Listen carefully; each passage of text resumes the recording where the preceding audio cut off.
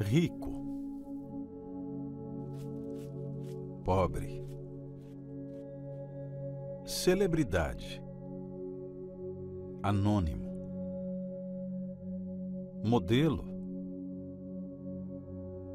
feinho. Notou alguma diferença? É isso que resta desta matéria feita de barro que o ser humano tanto investe. Valoriza aquilo que é nada. E o que realmente muito vale é tratado como algo inexistente ou insignificante. Estou falando da alma. Por causa dela, uma guerra feroz acontece desde o início do mundo. Tamanho é o valor que ela carrega. Deus colocou no homem um pedaço dele, a eternidade. Nada que ele criou possui tanta preciosidade. Desde então, Satanás, o ladrão de almas, trabalha incansavelmente para que ela se desconecte do seu Criador.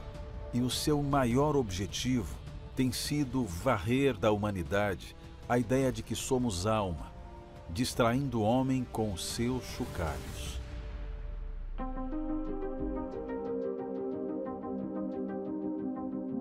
Nunca se viu uma geração tão materialista, preocupada exageradamente com a aparência e a opinião alheia, desesperadamente em busca da glória neste mundo, na corrida desenfreada pelo dinheiro e sucesso.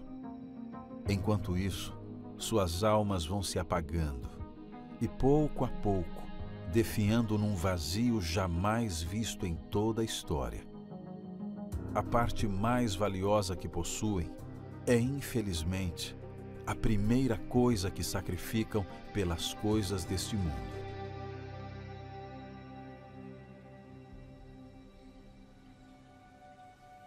Do que adianta ganhar o mundo inteiro se perder a sua alma?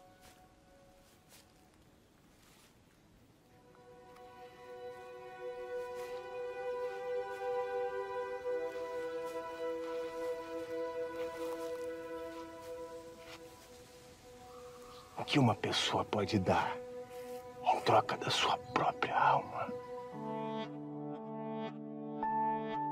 Se você pudesse ter todo o dinheiro da Terra, de acordo com o relatório de riqueza global mais recente, você teria cerca de 530 trilhões de dólares. Toda essa fortuna não chega aos pés do valor de uma única alma. É difícil de entrar na cabeça do ser humano, já que este se apega apenas ao que vê. Só não enxerga que dinheiro é papel, carro é lata, casa é pedra e que ao partir deste mundo, tudo ficará por aí. O que se acumula na terra não tem valor algum na eternidade.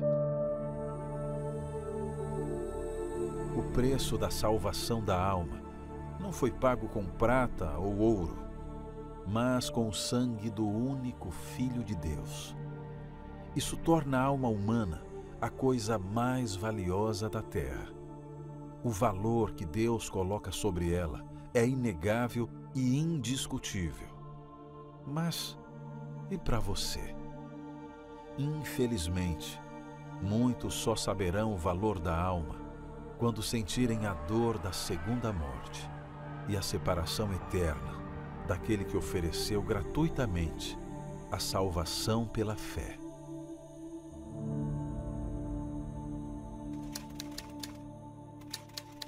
Sua matéria é inútil, mas a sua alma é infinitamente valiosa.